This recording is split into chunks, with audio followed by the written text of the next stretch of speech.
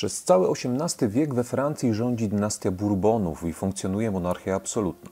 Kolejni królowie angażowali się w liczne konflikty, które skutecznie pozbawiły skarb środków finansowych. Szczególnie kosztownym przedsięwzięciem okazało się zaangażowanie Francji w wojnę o niepodległość Stanów Zjednoczonych. Dużym ciężarem dla budżetu było również utrzymanie królewskiego dworu w Wersalu, który pochłaniał ponad 10% dochodów skarbu. Szybko rosło zadłużenie, osiągając w latach 80. XVIII wieku ponad 40% wartości budżetu. Sytuacja ekonomiczna robiła się coraz trudniejsza. Ówczesne społeczeństwo francuskie miało charakter stanowy i składało się z trzech grup. Stan pierwszy, czyli duchowieństwo, było zwolnione z podatków na rzecz państwa. Utrzymywało się z podatków, które narzucało na stan trzeci i było właścicielem 10% całej ziemi w państwie.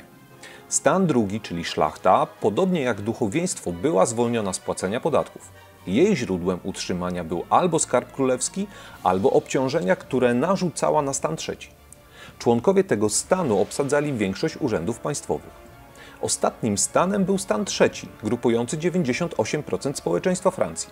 W jego skład wchodziło chłopstwo oraz mieszczaństwo. To ten stan był obciążony obowiązkami podatkowymi i nie miał żadnego wpływu na władzę w państwie. Stan trzeci był mocno zróżnicowany. Oprócz chłopów w jego skład wchodziło również bogate mieszczaństwo, które nazywano burżuazją. Grupa ta pojawiła się i zyskała na znaczeniu na skutek intensywnego poparcia monarchii absolutnej dla rozwoju przemysłu i manufaktur na terenie Francji.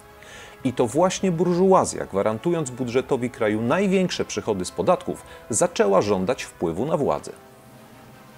Przełomowym dla Francji okazał się rok 1788. Wtedy to na trudną już sytuację ekonomiczną nałożyła się klęska nieurodzaju i w konsekwencji głód na terenie całego kraju, co znacząco wpłynęło na pogorszenie się nastrojów społecznych. Panujący wtedy we Francji Ludwik XVI nie miał takiego autorytetu jak jego ojciec i dziadek. Trudną sytuację ekonomiczną chciał ratować, próbując nałożyć na szlachtę i duchowieństwo podatek. Spotkał się jednak z odmową, dlatego zdecydował się na zwołanie nieobradujących od 1614 roku stanów generalnych.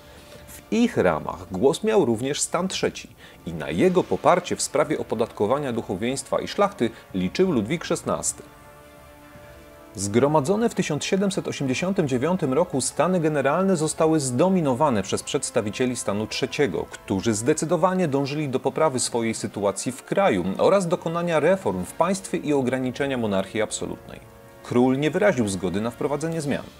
W efekcie tego przedstawiciele stanu trzeciego wsparci przez część szlachty i duchowieństwa obwołali się Zgromadzeniem Narodowym, które reprezentuje lud Francji poinformowali króla, że nie zakończą obrad, dopóki nie zostanie uchwalona konstytucja. Zaskoczony obrotem spraw monarcha uznał Zgromadzenie Narodowe. Ono zaś, wkrótce określając jako swój główny cel uchwalenie konstytucji, zmienia swoją nazwę na konstytuantę. Ludwik XVI po pierwszym szoku podjął decyzję o próbie pacyfikacji konstytuanty przy pomocy wojska, które zaczęło się koncentrować w okolicach Wersalu. Wzburzeni mieszkańcy Paryża rankiem 14 lipca 1789 roku szturmem najpierw zajęli miejski arsenał, a później Bastylię, czyli królewskie więzienie. Wydarzenia te dały początek wielkiej rewolucji francuskiej. Wrzenie ogarnęło całą Francję. Chłopi odmawiali pracy i płacenia podatków na rzecz duchowieństwa i szlachty. Palili zamki i dwory. Aby opanować sytuację, konstytuanta zniosła obowiązki chłopów względem możnych i kościoła i co więcej, pozbawiła stan pierwszy i drugi wszystkich przywilejów łącznie z niepłaceniem podatków. W sierpniu 1789 roku konstytuanta uchwaliła Deklarację Praw Człowieka i Obywatela. Dokument ten wywarł trwały wpływ na europejskie prawodawstwo w zakresie praw człowieka. Na podstawie tego dokumentu wszyscy poddani mogli wyrażać sprzeciw wobec niesprawiedliwości władzy. Uzyskali oni swobodę z wyznawania swoich poglądów, wolność wyznania oraz prawo do bezpieczeństwa i własności. Na mocy deklaracji zniesiono stanowy podział społeczeństwa. Obywatele stali się równi wobec prawa, a król utracił władzę absolutną. Warto zaznaczyć w tym miejscu, że ideą równouprawnienia objęto jedynie mężczyzn. We wrześniu 1791 roku, prawie pół roku po Polsce, we Francji uchwalono konstytucję. Ustawa gwarantowała obywatelom prawa zapisane wcześniej w deklaracji. Wprowadzono trójpodział władzy. Władzę ustawodawczą miało sprawować Zgromadzenie Prawodawcze. Władza wykonawcza spoczywała w rękach króla, który mógł korzystać z pomocy powoływanych i odwoływanych przez siebie ministrów. Monarcha dodatkowo nadzorował wojsko oraz politykę zagraniczną. Musiał jednak złożyć przysięgę na wierność narodowi i prawu. Sądy były niezależne od zgromadzenia prawodawczego i króla. Wszystkie stanowiska państwowe miały być obsadzane drogą wyborów. Po uchwaleniu konstytucji Francja stała się monarchią konstytucyjną, w której władza króla była ograniczona przepisami prawa, do których musiał się stosować.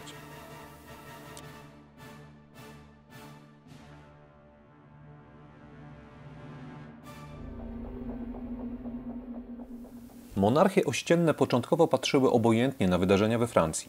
Jednak wraz z radykalizowaniem się nastrojów wśród poddanych Ludwika XVI, ich nastawienie zaczęło zamieniać się na wrogie. W konsekwencji tego dochodzi do wybuchu w kwietniu 1792 roku wojny między Francją a Prusami i Austrią. Próba przeprowadzenia przez Francuzów ofensywy w Niderlandach kończy się kompromitacją. Zdemoralizowana armia odmawia wykonania rozkazów, a żołnierze masowo dezerterują.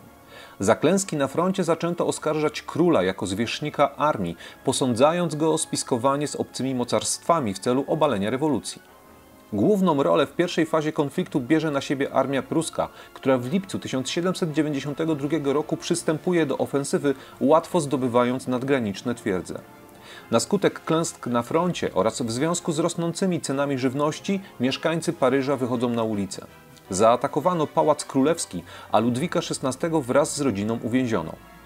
Jego sytuacji nie zmienia nawet sukces błyskawicznie zreformowanej francuskiej armii w bitwie pod Walmi we wrześniu 1792 roku i wycofanie się z wojny Prus.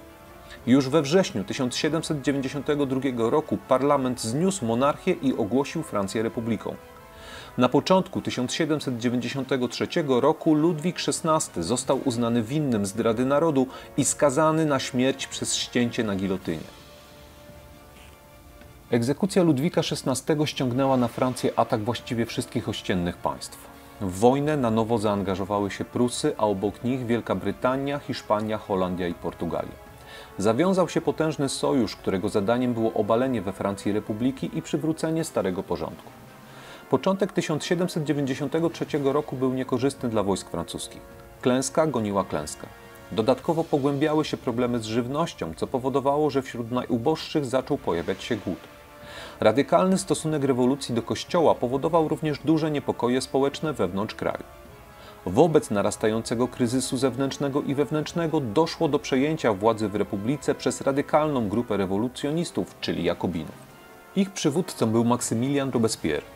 Uważali oni, że jedynym narzędziem, które uratuje rewolucję, był terror, który pozwoli na fizyczną likwidację wszystkich jej przeciwników.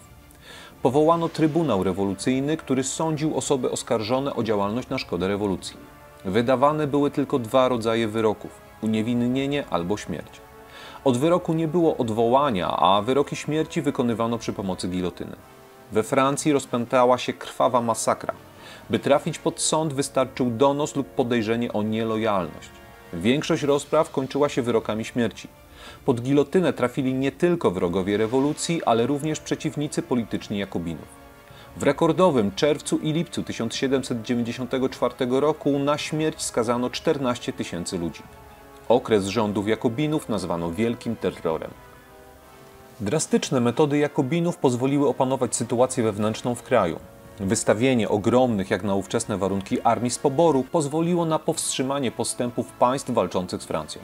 Jednak stosowane metody wzbudzały strach, a przez to niechęć większości społeczeństwa. Efektem tego stanu rzeczy był przewrót dokonany w lipcu 1794 roku, w trakcie którego przywódcy Jakubinów z Robespierrem na czele zostali aresztowani i skazani na śmierć. Władze we Francji przejęli umiarkowani zwolennicy rewolucji. Rozwiązali oni Trybunał Rewolucyjny i uchwalili nową konstytucję. Na jej mocy władza wykonawcza spoczęła w rękach pięcioosobowego dyrektoriatu. Prawa wyborcze przysługiwały wszystkim obywatelom, którzy płacili podatki, ale urzędy zatrzymano dla burżuazji. Zachowano jednak główne zdobycze rewolucji: równość wobec prawa, rozdział państwa od kościoła, prawo do wolności oraz swobodę działalności w przemyśle i handlu.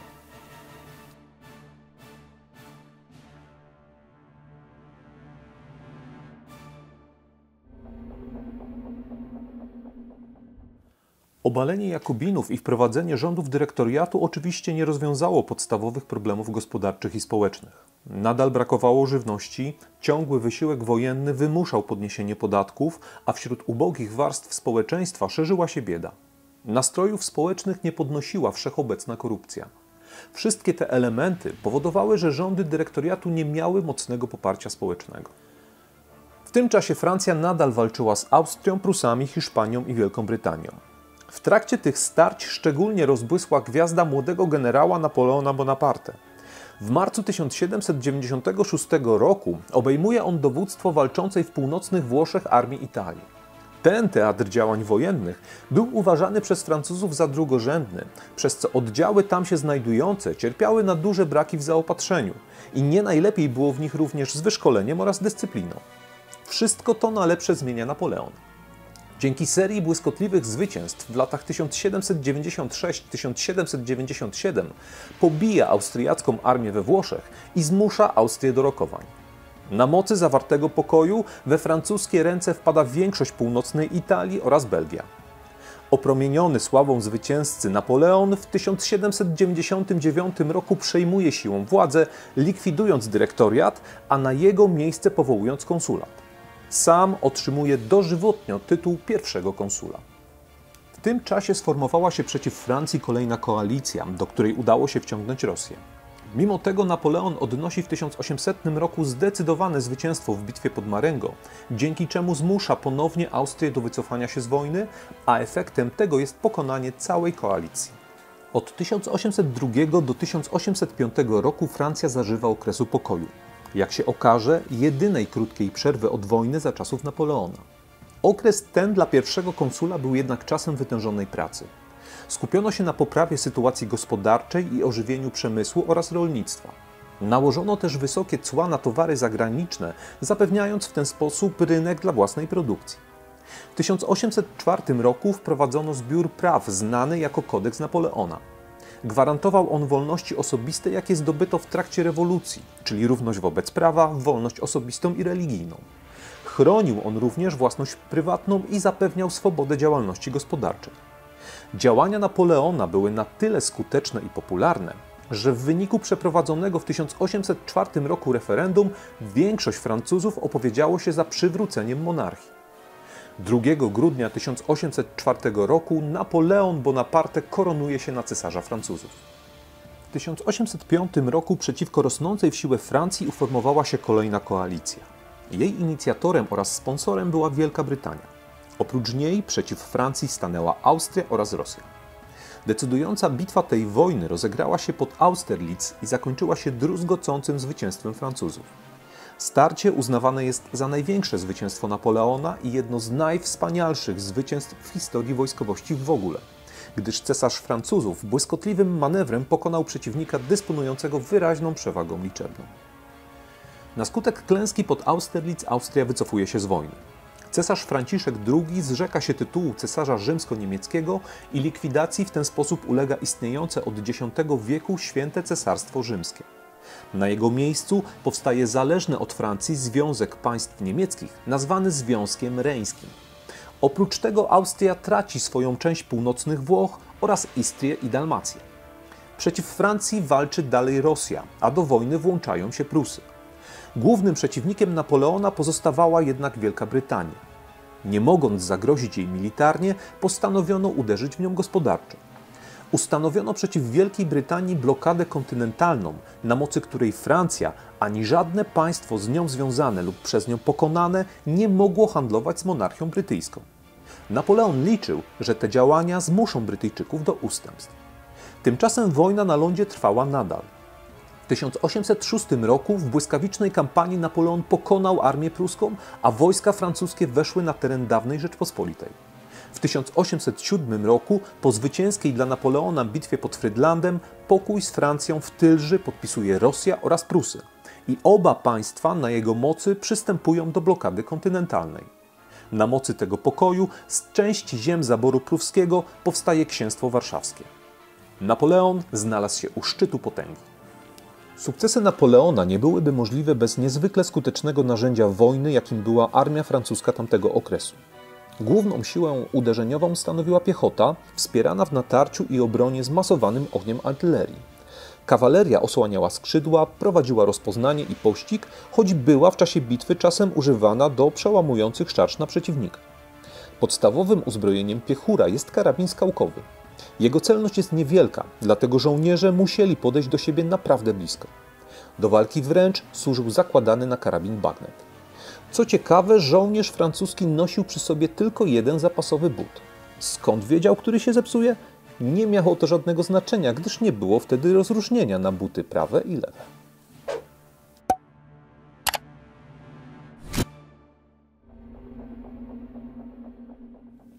Po pokoju w Tylży wydawało się, że Europa legła u stóp Napoleona.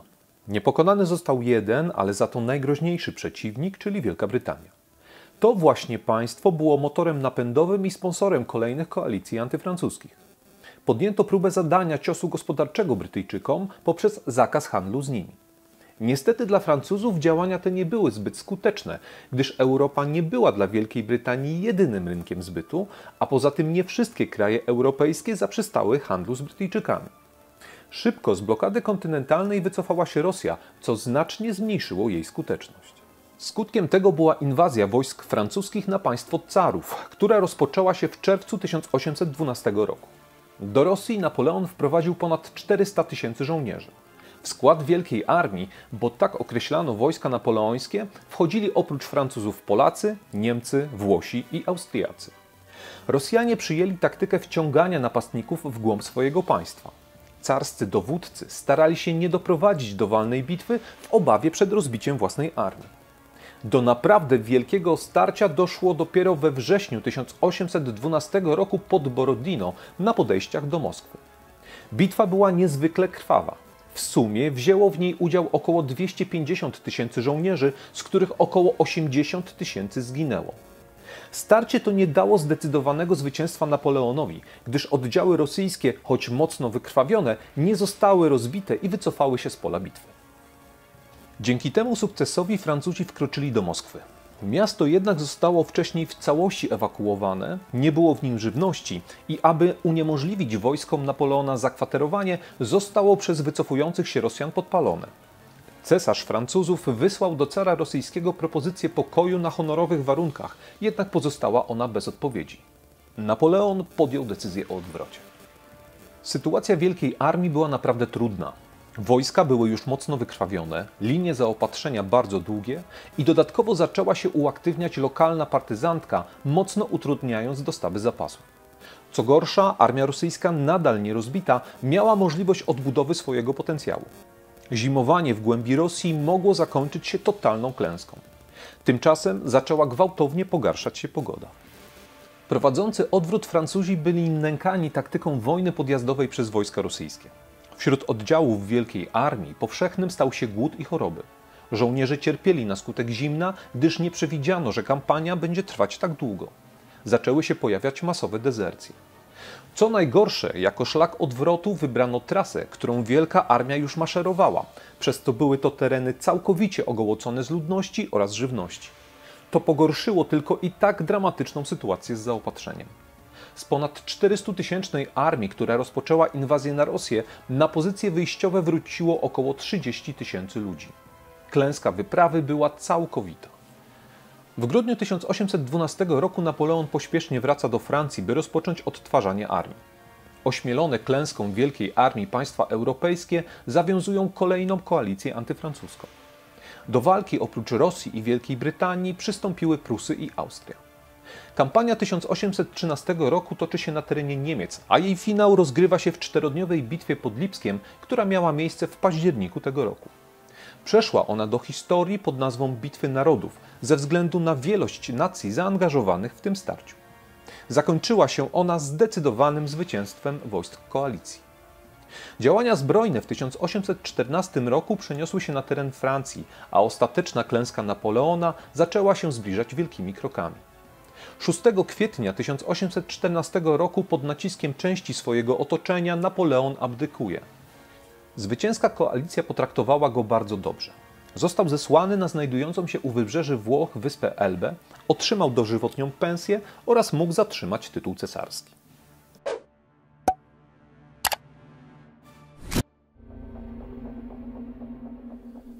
Po trzecim rozbiorze Polska znika z mapy Europy. Mieszkańcy dawnej Rzeczypospolitej stali się poddanymi państw sąsiednich. Byli zobowiązani do złożenia im przysięgi wierności, płacenia podatków i służby wojskowej. Wielu Polaków, którzy nie pogodzili się z upadkiem państwa, udało się na emigrację. Jako jej cel w większości wypadków wybierano Francję, jako kraj, który zbrojnie walczył z zaborcami.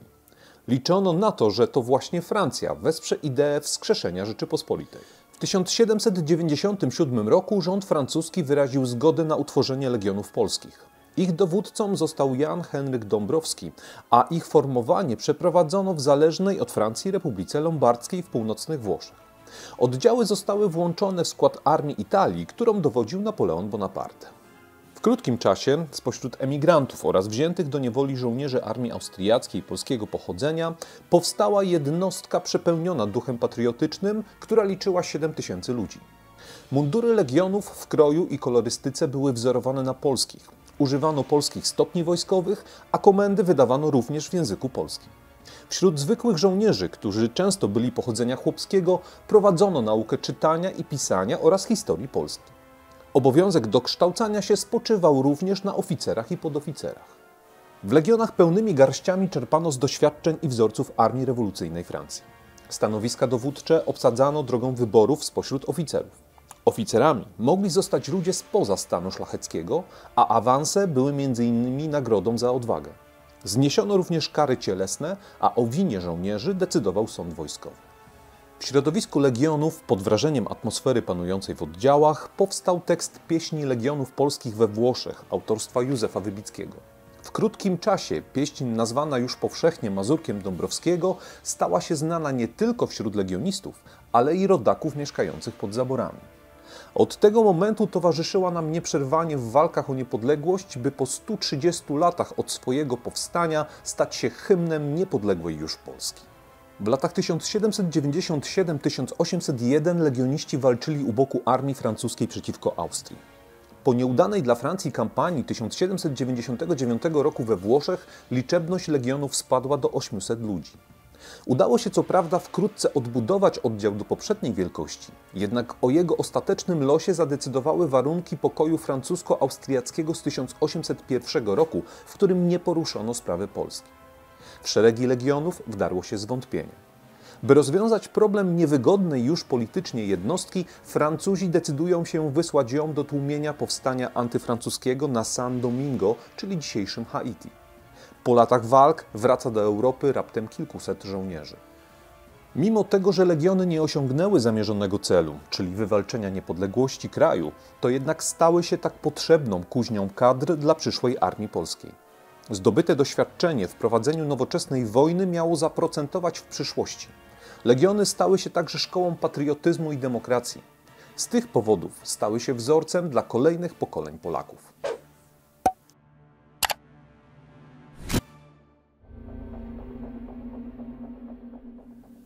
Zwycięska kampania Napoleona z Prusami w 1806 roku oraz zbliżanie się wojsk francuskich do granic dawnej Rzeczpospolitej nie tylko obudziło nadzieje niepodległościowe Polaków, ale i przekonywało Napoleona do wykonania dywersji na tyłach wojsk pruskich oraz rosyjskich. W listopadzie 1806 roku do Poznania wkracza wysłany tam przez Bonapartego Jan Henryk Dąbrowski, rozpoczynając powstanie przeciwko Prusom, które kończy się całkowitym powodzeniem. Wkrótce na tym terenie pojawiają się oddziały francuskie, a Polacy formują własne jednostki, które uczestniczą w walkach u boku Napoleona w kampanii 1807 roku. Zwycięska dla Francji wojna kończy się podpisaniem pokoju w Tylży w 1807 roku, którego jednym z warunków było utworzenie zależnego całkowicie od Francji księstwa warszawskiego. Państwo to zostało utworzone w większości z ziem drugiego i trzeciego zaboru pruskiego. Dodatkowo Gdańsk został ogłoszony wolnym miastem, czyli małym i teoretycznie niezależnym tworem państwowym. Nowo powstałe państwo otrzymało nadaną przez Napoleona w 1807 roku konstytucję. Na jej mocy księstwo stawało się monarchią, której władcą stawał się Fryderyk August, książę Saksonii, wnuk Augusta III.